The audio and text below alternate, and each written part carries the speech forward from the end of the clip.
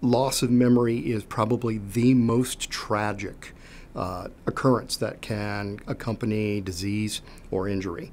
Memory is at the heart of who a person actually is. Their personality is entwined with their memories. Their interaction with all other people is entwined with their memories. Without our memories, we lose our sense of self. We were looking to see if it was possible to use a patient's own code for memory to strengthen that and feed it back in so that we could essentially restore the ability to encode and retrieve memory.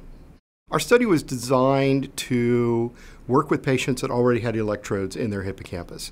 That patient population is epilepsy patients who have seizures that will require some form of surgery to correct their seizures. These patients have electrodes placed into areas of the brain, including the hippocampus, and they stay there for about two weeks. While the patients are in the hospital, when they're not doing the studies necessary for their medical care, we can go in and we can test. We have the patient play a computer game that involves memory, and we record the activity of the brain cells, the neurons in hippocampus. So, what we found is that when we tested patients by stimulating their hippocampus with a pattern that was derived from their own neural activity in hippocampus, we were able to improve their short term memory by quite a bit. We had two tests. One was a very short term memory that lasted about 120 seconds, two minutes.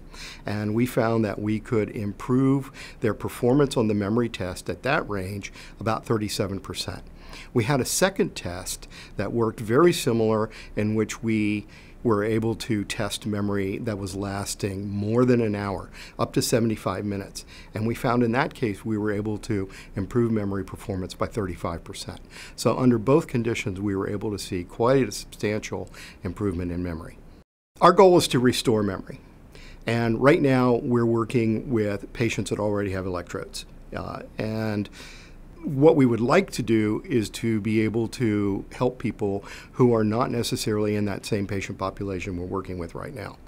That is going to require some decisions by the doctors, by the patients, and by the researchers as to when we put electrodes in and who we're going to help. But our target is to help people who have had a traumatic brain injury, people who've had stroke, people who've had memory loss due to aging, Alzheimer's, or any number of other diseases that can affect the memory. In one sense, we were not surprised to find that this worked.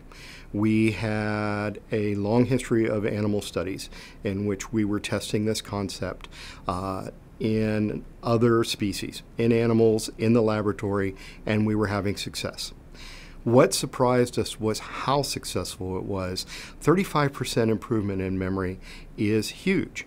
And the results that we have compared to some other techniques indicate that this is a very successful uh, attempt to uh, restore memory.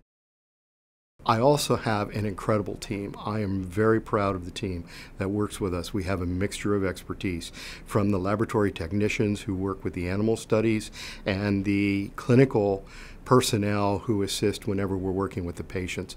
We have surgeons, we have clinicians, and we have technicians, and we have the modeling group that works with us at USC.